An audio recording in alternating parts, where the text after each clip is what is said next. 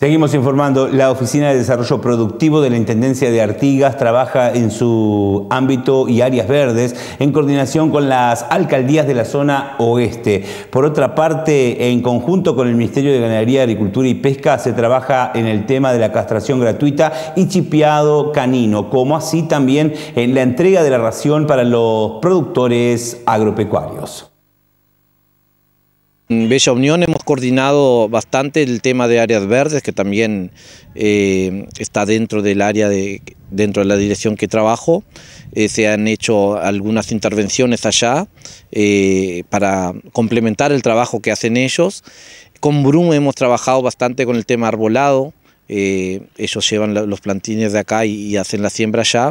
Y con Gomensoro hemos trabajado en la parte de servicio maquinaria, hemos sacado en fechas puntuales algunos días un trator para allá y se ha sembrado en el orden de 15 productores más o menos, se ha hecho, el año pasado se se hizo una experiencia cortando chirca, haciendo una limpieza de campos y este año hicimos siembra de, avena.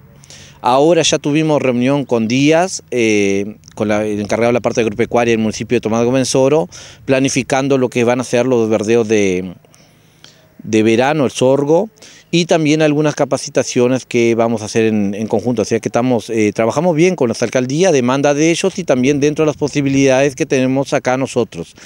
Ha habido solicitud de maquinaria agrícola para otros lugares, pero nosotros no podemos descuidar un lugar para hacer otro, no queremos comprometernos con, con una región después no poderlo cumplir, ¿no? A medida que se puede, se va. Con respecto con los lineamientos con el Ministerio de Ganadería, Agricultura y Pesca, ¿cómo se viene coordinando?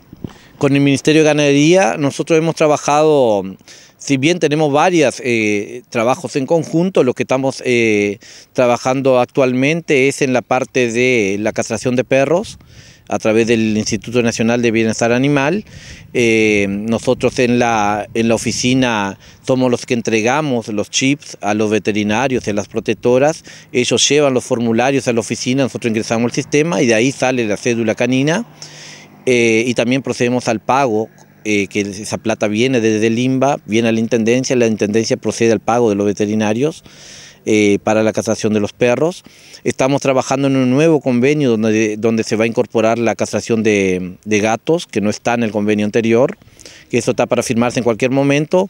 Y también estamos trabajando con la entrega de ración a través del Fondo Agropecuario de Emergencia, que eso son productores que se registraron en el Ministerio de Ganadería para adquirir eh, ración. El Ministerio de Ganadería evalúa hace firmar los contratos, en el caso que el productor cumpla con los requisitos que exige el ministerio, pasa a la intendencia y la intendencia reenvía la barraca para que entregue la ración. Hay que resaltar acá que el productor eh, que requiera ración tiene que pasar por los procesos de, que requiere el Ministerio de Ganadería. No somos nosotros en la intendencia que tomamos la decisión a quién dar y a quién no dar. Tiene que ser productor familiar, cumplir una serie de requisitos. Cuando el Ministerio de Ganadería da el ok, nos envían el ok a la oficina, nosotros chequeamos, enviamos a la barraca. Eso también es a través de un convenio con, el, con la intendencia. La plata viene al ministerio, complementa con la intendencia, la intendencia es la que procede a la compra de la ración.